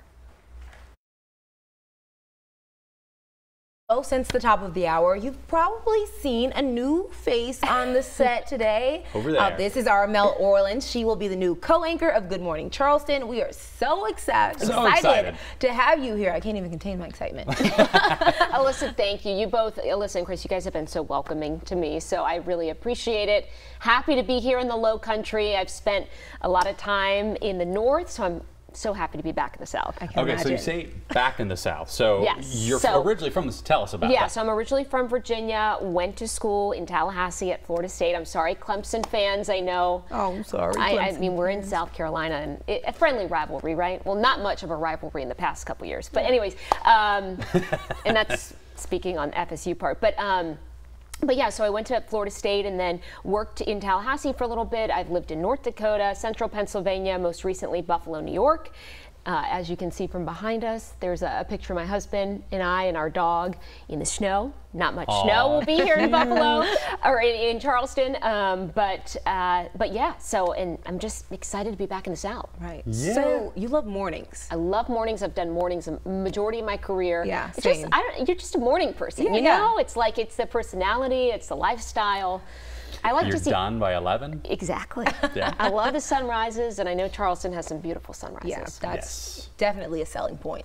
Yeah, and, and I would actually just say too, um, another part of Charleston is uh, just the outdoorsy stuff and Yeah. like the lifestyle. So, what are I mean, I, you kind of mentioned a little bit to us, but what are some of the things you like to do? You know, hobbies. I Yeah. guess. So um, I love to run. Uh, I love to explore new trails, um, new parks, and uh, my husband and I love boating. We have a boat, and we will be um, out on the water this weekend if the weather cooperates. uh, but we are just excited to get in the water and just explore all the waterways. And, And he loves to fish, and of course, plenty. yeah. Yeah. I'm here with you. Running, not so much. Boating, two thumbs up for me. All right, well, we'll have to go out on the boat one day. Running when it's not disgustingly muggy outside. Exactly. when- exactly. when is that? Uh, November. Right. so no, but it is certainly humid. So if you're gonna go for a run, maybe this like this evening or right after, just extra glass of water or something, maybe a sports drink, because you'll notice when you step outside. In fact, taking a look right now, you can kind of take a look over the Ravenel. Not a bad morning. Cars are moving along just fine, uh, but it is certainly a mild start. Mount Pleasant, a mere 81 degrees not much of a cool down. Uh, so certainly you'll notice it when you step outside. And the truth be uh, told, 90s are sticking around the afternoon. I mean, we are on the dog days of summer. No surprises there. Also, no surprises. We're going to start to see more afternoon storm chances. August is one of our wetter months in the year. In fact, it's the wettest month, I should say, for much of the low country. Uh, so, yeah, we're going to start to see those pop-up storms more common and more active. Those muggy nights, of course, will stick around as well. But there you go. Temperatures mid to upper 70s and then some 80s closer to the coast, especially right around the Charleston metro area. Uh, Johns Island, too, right about 81 degrees.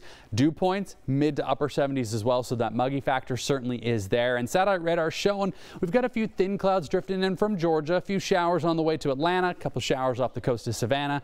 But for us, not seeing that as much. We're just going to hit about 94 degrees. So still plenty hot. That heat index a little uh, similar to yesterday, even though yesterday was hotter. We got a little more humidity today, but we do expect those storms to fire up this afternoon. Here we go. Here's one o'clock. Starting to see a few do their job, maybe bring in a bit of a cool down to a couple spots, and they'll continue into this afternoon and evening. Now, one difference is they'll be moving a little quicker today, so the evening commute actually should be plenty dry. Hopefully that'll make things smoother for commuters. And then tomorrow we might start to see a few showers and storms as well. So upper 70s, maybe a few 80s tonight. And then again, those rain chances eh, bouncing around, but they do pick up for the weekend. So if you're going to go or attempt boating this weekend, we're going to go ahead and take a look at that coming up. But first, let's talk about those roads with our trooper Bob. Hey, Bob. Hey, you know I don't like uh, getting stuck at a red light, but it so it is. Live look at uh, Dorchester Road right here at Lincoln Boulevard for those folks if you're making your way down towards uh, Bosch. Uh, we're right here at that light there, uh, or uh, Joint Base Charleston, Oak Brook. No delays on the east or westbound sides. Interstates are looking good. I'm actually going to drive over to 26 and uh, take a look at that right now, right around Ashley Phosphate. No crashes or incidents to tell you about. We'll make this short and sweet and send it back to the newsroom. All right, hey, thanks, Bob. So those drive times sitting pretty right now. No big delays to speak of. Everybody at or below the 20-minute mark. Uh, so again, so far so good. Though we'll likely start to see that I-26 number tick up, kind of as we approach the 7 o'clock hour. This ABC News 4 traffic tracker update was sponsored by Mr. Sparky, America's on-time electrician. 616 right now, the White House is stepping up efforts today to stop the spread of the monkeypox virus. Uh, they've just launched a monkeypox response team to provide more resources nationwide. Medical reporter Liz Bonis explains what that means. Hey there, hello to you. This team, all an effort to try and curb this outbreak. Monkeypox hitting nearly 6,000 cases in the U.S. so far and is now in 48 states, including Washington, D.C. and Puerto Rico. This same disaster relief workers for everything from bad weather to coronavirus now taking on monkeypox. The head guy to stop the spread, Robert Fenton, an administrator with the Federal Emergency Management Agency, or FEMA as it's known. The CDC's head of HIV prevention also helping in the response. Here's why. Currently, what we're seeing in the United States is that the population most affected right now is men who have sex with men. Because of that, here's what we all need to know. Monkeypox is spread through close, intimate skin to skin contact with someone who has monkeypox. So the chances of you just going into the community today and getting monkeypox remain extremely low. But here's why the White House is also stepping up efforts today to expand vaccine availability and testing. You know, it's really concerning. I think the opportunity to have contained this virus may have been lost. As Dr. Thomas Lamar told me, that may be true. Look at this CDC map. Three states now declaring a medical state of emergency. They have nearly half of those 6,000 cases. Illinois has 520, California 827, New York, the epicenter, nearly 1,400. We estimate that we have up to 150,000 people here in New York City who might be at risk for getting or transmitting monkeypox under the current criteria for vaccination. So we have work to do to get to that number. The concern, of course, is that this virus will spread beyond the gay and bisexual community. Four children have already tested positive for the virus. It's a pretty miserable infection. Uh, fortunately, it's not nearly as contagious as COVID 19, but it makes people feel terrible. About one in 10 who do get this virus will be hospitalized because of the pain and to isolate from others. In most cases, however, it does resolve on its own. I'm medical reporter Liz Bonis. Now back to you. Well, still the communication missed at fire crews make a rescue in a house fire in Mount Pleasant. Who they saved and the details we're learning about what caused it after the break. But right now, it's time for a coffee break. We'll be right back. This coffee break is sponsored by Wendy's, a breakfast so good you'll want to tell someone about it. Get yourself a tasty breakfast at participating Wendy's. On your Wednesday morning, let's take a look at some important stories you might have missed. Crews from Mount Pleasant and Charleston fire departments put out a house fire caused by an unattended tea kettle yesterday. The fire was reported in the Long Grove subdivision in Mount Pleasant. Before firefighters arrived, Charleston County EMS rescued a dog from the home. Officials want to remind everybody do not leave anything unattended on the stove while cooking. A deadly discovery in Summerville. This man here, 66 year old Randy Moore, is charged with abuse or neglect of a vulnerable adult resulting in death. Police say a man in Moore's care was living in poor conditions at a home on Lily Place. That man was found dead when officers were called about CPR in progress on July 24th. The name of the man who died hasn't been released. Moore was booked into the Dorchester County Jail.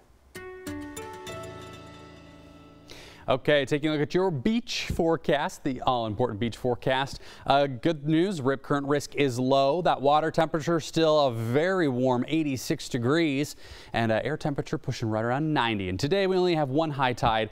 Uh, every so often again, you only have three tide uh, ends, we'll call them, because the fourth one ends up being the next day. And that's what we got going on. Now your travel forecast shows that uh, Albany, Georgia, one of the closer ones to us, Chance of storms still hot. We're going to be there as well. So our storm chances do start to pick up, especially the afternoon. This weekend looking unsettled. Now I will say Saturday there'll still be plenty of sunshine. Just those afternoon storms more significant. Sunday though, maybe grab an umbrella before you head to brunch. I think we'll see a little more than just afternoon storms. Now a look across the world at a few positive stories. It was a very special birthday for Yuandudu and Huanlili at the Beauval Zoo in France. The female twin pandas celebrated their first birthday with ice cakes made of bamboo shoots. The pair weighed just a few ounces when they were born, but now tip the scale at more than 66 pounds. The cubs will spend a few more years in France before being sent to China. The first woman from Mexico to travel to space has been given the keys to Mexico City. Katya Echazarreta was on board Blue Origin's fifth space tourism launch in June. She's also the youngest American to visit space at 26 years old. Echazarreta says she thinks it's important for women and girls to know they can achieve whatever they want. Taking a historic plunge, competitors leaped 75 feet off of the old bridge in the Bosnia and Herzegovina city of Mostar over the weekend. This is a part of the annual diving competition. The winner dedicated his victory to his parents on their anniversary. Organizers say this is the 456th edition of the competition held at the Old Bridge, which was built by the Ottomans in 1566 and rebuilt after Bosnia's war. Still a common update on the McKinney fire burning in Northern California that still isn't contained. See the devastation after the break. Weather Window, presented by the National Weather Desk. Waterspouts are more common along the U.S. southeast coast than you might think. They're even observed late summer and early fall in the Great Lakes. There are two types of waterspouts. A tornadic waterspout is similar to a tornado dropping from a severe thunderstorm cloud, sometimes moving ashore. A fair weather waterspout forms at the water surface and builds upward, usually into a line of dark base cumulus clouds. Follow the National Weather Desk on your favorite social media platform. Continues right now. All right, hey, taking a look. Uh, well, that's not exactly what we wanted. Froze on me, but hey, let's go ahead and pull up what we did want. But spoiler alert, it's going to be a pretty stormy week. But let's look at the good picture right there. Okay, there we go. Islander camera right now not looking too shabby. Uh, lots of sunshine coming up this morning, but notice we do have some cloud sliding in as well. Really, the biggest thing is a muggy morning. So 81 degrees right now, 80 Charleston, 77 Georgetown, 77 in Summerville, and those dew points are in the upper 70s too, and that's kind of the big deal. So later on this afternoon, though, we are expecting some thunderstorms. Again, you did see that seven day there a little early than I'd hoped but it does show you too those pop-up storms. We're going to take a look at Futurecast because once again, not everyone's going to see it. We'll show you who has a better chance of seeing those storms and who's probably going to stay dry once again today. Again, details coming up. But first, let's go ahead and get an update on those roads with our trooper Bob. Hey, Bob. Hey Chris, here's the westbound side of Interstate 26 right near Ashley Phosphate. I was on the eastbound side just a couple minutes ago, maybe just a tap of the brakes for those folks uh, allowing uh, that traffic to merge coming on from Ashley Phosphate 226 eastbound, but not a major slowdown. We do have a, a tree in the roadway that's going to be in Charleston County, Oak Island Road at Island, uh, Lewis, excuse me, Lewisberry Lane, Lewisberry Lane. Watch out for uh, blue lights there as they uh, remove that tree. Not seeing any delays on 526. You have a nice ride over from West Ashley towards Mount Pleasant and no wrecks to tell you about in the second hour of the show. This ABC News 4 traffic tracker update was sponsored by Mr. Sparky, America's on time electrician. And don't forget, ABC News 4 is always working for you with drive times as well as national and local headlines scrolling right on the bottom of your screen. We continue this half hour with your rapid rundown. Four people are now confirmed to be killed in the McKinney fire burning in Northern California.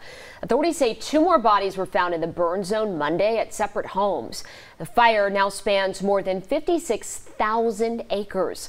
It's burned more than 100 homes, sheds, and other buildings, and it's still 0% contained. Author Stephen King fighting against a major publishing merger. He volunteered to testify in D.C. yesterday as part of a federal antitrust trial. The DOJ saying Penguin Random House combining with rivals Simon & Schuster would give them too much control over publishing and paying authors. King says consolidation is bad for competition and makes it difficult for writers to make a living wage. Now, new satellite images appear to show the house where Al Qaeda leader Ayman al Zawahiri was killed. Now, this is the after photo of the home in Kabul. Now, last week, a drone strike killed al Zawahiri while he was on the balcony. Now, he was one of the masterminds behind the September 11th attack on the U.S. It's unclear who owns the house where he was killed. Now, looking ahead, preparations are already underway for the 2030 World Cup. On Tuesday, Uruguay, Argentina, Chile, and Paraguay launched their joint campaign to be considered as host for the tournament. Now, the four countries argue that the tournament will be disputed among 48 teams by then and will need more space. Now, the South American nations are up against Spain and Portugal as potential hosts. Charleston County officials say a worker shortage at the 911 call center has reached urgent levels, which is why the county has changed its approach to recruit new dispatchers. And for more, we send it over to our Sean Mahoney, who joins us live outside of the Consolidated Call Center in North Charleston. Now, Sean, what has the county done to get more people on the phones? Well, Alyssa, Mel, uh, a lot of the employees here at the call center for Charleston County, uh, because of this work shortage, have to work 12 hour shifts, which if you can imagine, leads to a lot of burnout. Burnout so much to the tune of a 15% decrease in the workforce here at the call center over the past year. Now, because of this, now Charleston County is changing some of the features of this job position to try and get more people to put on the headset and head through those doors. Now, one of the changes that Charleston County made was increasing the pay for the telecommunicators at the call center to almost $20 an hour, $19.18 per hour to be exact. And they also switched these employees or in the process of switching these new hires to eight hour shifts instead of the current 12 and a half hour shifts. Officials say more employees with these changes will create a smoother process on both ends of the phone line. It is urgent. I think our staffing is is always a high priority for us, um, making sure everything is together so we can serve our community. Um, but at this point, it is definitely urgent um, due to our staffing. It would take a lot of overtime and weight off of our current staff, um, as well as be able to help us serve the community better, more efficiently, now, the county created Work for 911 Wednesdays as a social media push to try and bring more awareness to these open positions. And starting today, the county will be holding a new wave of interviews for these vacancies, part of this new initiative to try and bring more people through those doors. Now, to apply, there's no prior experience needed. All you need is a high school diploma or a GED. And if you want more information about this push and about what you need to know if you're looking to interview for one of these positions, you can head over to my Twitter or Facebook page at Sean Mahoney TV. I've posted all the details there. Working for you this morning from North Charleston, Sean Mahoney, ABC News 4. Well, thanks, Sean. Here are the dates for all of the interview periods for the call center. Officials with Charleston County say they will be held at the Public Service Building in North Charleston from 8 a.m. to 4 p.m. Making a bold statement, House Speaker Nancy Pelosi and a congressional delegation are in Taiwan today. Now, she says the visit symbolizes U.S. support for the self-governing island, but as Amy Kiley reports, American officials say the trip doesn't change the U.S. position on Taiwan. We come in friendship. We thank you for your leadership. We want the world to recognize that. House Speaker Nancy Pelosi is demonstrating that the U.S. stands with Taiwan and she's standing up to Chinese threats. Our response will be very firm, strong, and uh, forceful. She and a congressional delegation have been meeting with leaders in Taiwan today. We hope that the global alliance of democracy will stand with Taiwan. Pelosi is the highest ranking U.S. official to visit the island in 25 years. But the White House says that doesn't change the U.S. position on Taiwan. There's no reason for Beijing to turn this visit into some sort of crisis. The U.S. acknowledges Beijing's position that Taiwan is part of China, but it doesn't accept the Communist Party's claim of sovereignty over the self governing island. Pelosi is a long standing critic of China's alleged human rights abuses. That country is putting on a display of military force in response to her visit. China has every right to defend its sovereignty and territorial integrity. The White House tried to deter Pelosi from making the trip, but the visit is getting some bipartisan support. It's been unseemly and counterproductive for President Biden and his aides to have publicly sought to deter her. We have to step up and, uh, frankly, rally democracies around the world. Working for you, Amy Kiley, ABC 4 News. And new this morning, we're now hearing that Nancy Pelosi has left Taiwan. There's still no word yet on where she's headed. While Russia's Supreme Court is labeling Ukraine's Azov regiment as a terrorist organization. Now, that designation could lead terror charges for about 1,000 members of the group currently being held in Russian prison. Now, Russia has opened criminal charges against them, accusing them of shooting and killing civilians. The Azov regiment says Russia is looking for new excuses to explain its war crimes. Ukraine's president hailed the group as heroes. The rumored girlfriend of Russian President Vladimir Putin is included in this latest round of U.S. sanctions aimed at Russian elites. The U.S. Treasury Department announcing it froze the visa of Alina Kabaeva. The department describing the 39 year old former Olympic gymnast as having a close relationship to Putin. They also say she's currently the head of a Russian national media company that promotes Russia's invasion of Ukraine. Uh, President Biden will soon sign into law the $280 billion CHIPS and Science Act, and leaders in Michigan want to be ready. The governor signed an executive directive Tuesday to make sure that the state is prepared to snatch up grants to bring in new jobs and protect the auto industry.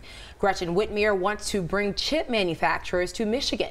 Uh, President Biden says the bill funds the entire supply chain from development to production.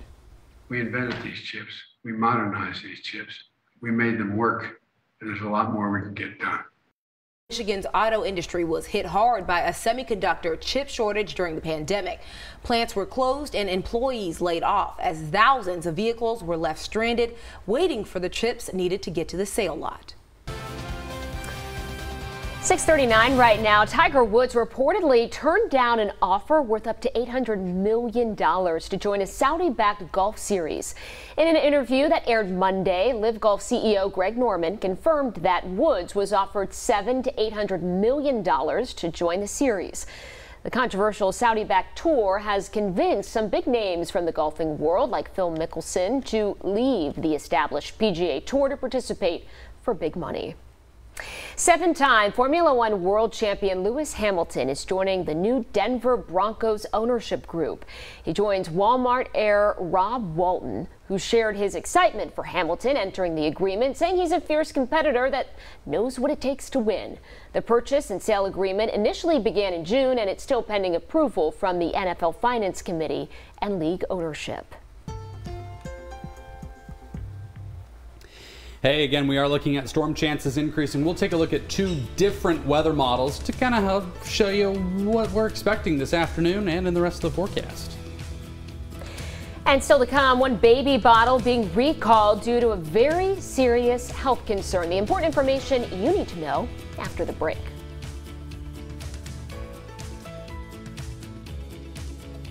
The uh, marina and the harbor looking very nice this morning. It certainly is a warm morning, so if you're going to head out boating, should be quite comfortable for you. Temperatures right now right around 80 degrees in Mount Pleasant. Not going to cool off a whole lot more, so again, yeah.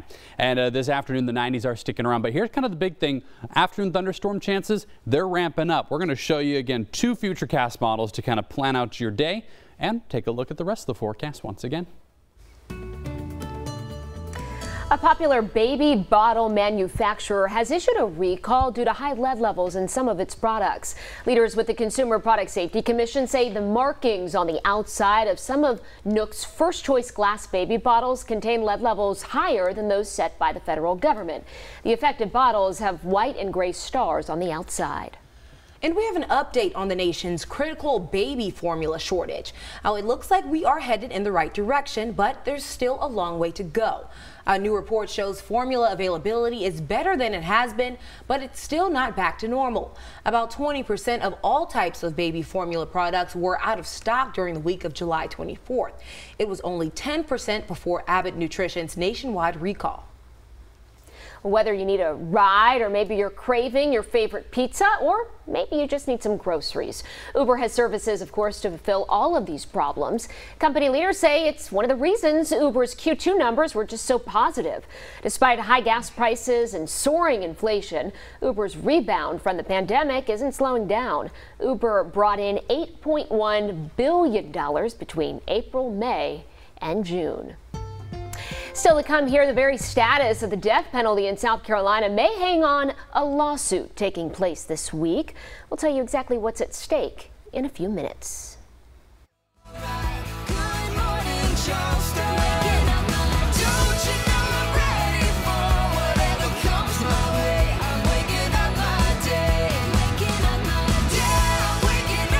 Good morning, Charleston. We're working for you with a storm tracker update. All right, and we've got a beautiful sunrise this morning. Look at that. Oh, birds. Okay, nature attacking the camera. Uh, I've been seeing quite a few crows and stuff hanging out by our sky cams, but they're in good locations for a reason. Uh, but still very nice this morning, 80 degrees Charleston. A lot of sunshine uh, right now, but we are seeing a few clouds drifting from Georgia. The biggest thing you walk out, you notice the muggy factor. Temperatures are in the upper 70s around 80 degrees. Dew points above that 75 mark for the most part. And while that's not a significant mark, that's kind of the point that we generally start to just go, ew outside. And yeah, it's a little bit this morning. Uh, but right now, satellite radar, again, just a few of these clouds drifting in from Georgia. Colleton County seeing a little bit this morning. Showers and thunderstorms offshore, a few showers around Atlanta. But for us, we'll likely have to wait till this afternoon to see some closer to home. But still, 94 degrees, Charleston, Summerville, that heat index as high as 105. And then even this evening, temperatures are, will cool down once again, but still a couple places likely staying right around 80 degrees. Pending no showers that bring some cooler air in, and that actually is going to be a distinct possibility. So we're going to look at two models. Here's the first one, starting to show a few pop up around 2 o'clock, but kind of keeps the storms heavier into Colleton County, not so much north, especially around Georgetown County. Now, this is one weather model. Here's the other one, a little more uh, generous with spreading the love around with those storms, but it keeps the coast completely dry. And that's kind of a theme too, that inland places have a better bet. The coast, yeah, not so much. Now we're going to take a look at your fishing game and your extended day in just a few minutes. But let's get one last update this half hour with our traffic with Trooper Bob. Hey, Bob. Hey Chris, 26 eastbound, you're going to start seeing brake lights right around University and you'll be on and off the brakes between University and Ashley Phosphate, but it does get better as you get closer to aviation. Still got that tree down in Charleston County, that's Oak Island Road. That's a roadway that's taking your way out towards Edisto uh, just before Highway 174. DOT has been notified to get that tree out of the roadway. As always, make sure you buckle up, don't be ejected from life, and let's send it back to Chris for the drive time. All right, hey, thanks. And yeah, you do see that Summerville to downtown has picked up significantly. Now sitting at 27 minutes, so traffic getting a little bit of an early start today. Let's hope it doesn't pick up too much more. Uh, but 526 in Highway 17, if you're going from West Ashley to Mount Pleasant, they are doing A-OK. This ABC News 4 traffic tracker update was sponsored by Mr. Sparky, America's on-time electrician.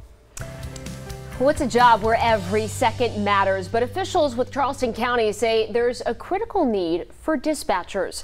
For more, we send it over to our Sean Mahoney, who joins us live outside of the 911 call center in North Charleston. Sean, good morning. And just how urgent of a situation has this shortage created?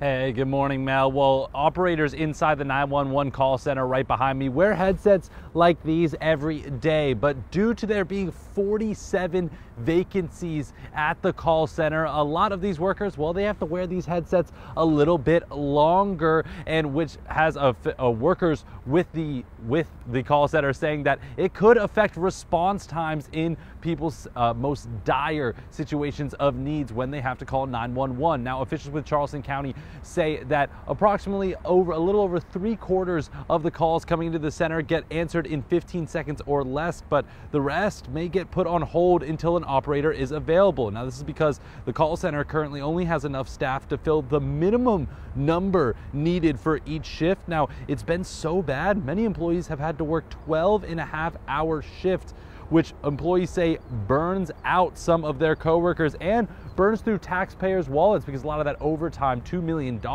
in fact, comes straight from taxes. Now, to put it in perspective, uh, this time last year, the call center had around 83 people manning the phones. Now they only have 70. They need 117 to be at full staff. But Charleston County, they're trying to change that statistic. They are putting a new wave of social media posts and changing some of the job features to try and entice more people to come in. And that starts today with a new wave of interviews for operators here at the 911 call center starting today, either virtually or in person at their public service building in North Charleston. If you want more details, you can head over to my Twitter page at Sean Mahoney TV or Facebook at the same handle for more information.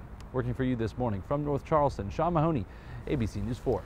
All right, Sean, thank you. And officials with Charleston County say the call center received almost 900,000 calls last year. Another shakeup within the Charleston County School District. A spokesman confirms Chief of Staff Erica Taylor is no longer working for the district. We're told that position was eliminated. Taylor had been with the district for nearly 10 years, serving in a strategy and communications role before becoming Chief of Staff. This comes after CCSD announced major changes last week, including the resignation of Chief Academic Officer Carolyn Belcher. The interim title was removed for Superintendent Don Kennedy. He's now serving in a role until a permanent hire is made. CCSD board member Courtney Waters spoke to ABC News 4 about this it's a lot of change when we're getting ready to hire a new superintendent very shortly. And so I don't think that the board should be standing for this. I don't think we should be condoning this. And I do think we need to do something about it. A CCSD spokesperson told us, quote, as Superintendent Kennedy reorganizes the district to achieve the goal of all students reading on grade level by fifth grade in 2027, some employees will be moved and some positions will be changed to accomplish that goal. All right, we talked about it's going to be a hot one today with those afternoon storms. Generally speaking, staying away from the coast. So if you want to head to the beach, not too bad. Water temperature 86 degrees. That current risk, something to pay attention to, is low. Now, our fishing game forecast, probably the best one of the day. Uh, not the best fishing game forecast, at least, according to the experts. Uh, fair conditions was pretty good early, early this morning, though. Here's your extended forecast for you. So today, one of the hotter days in the forecast. We go back to right around normal, 90, 91 degrees. Notice those rain chances do pick up for the weekend. Saturday, you'll still have plenty of sunshine time. Just afternoon storms will be more significant. And then Sunday does look a tad on the wetter side. All right. Well, thanks for joining us on Good Morning Charleston. Good Morning America is next. And now we honor America with our daily pledge brought to you by Miss Kilgore's first grade class at Buist Academy.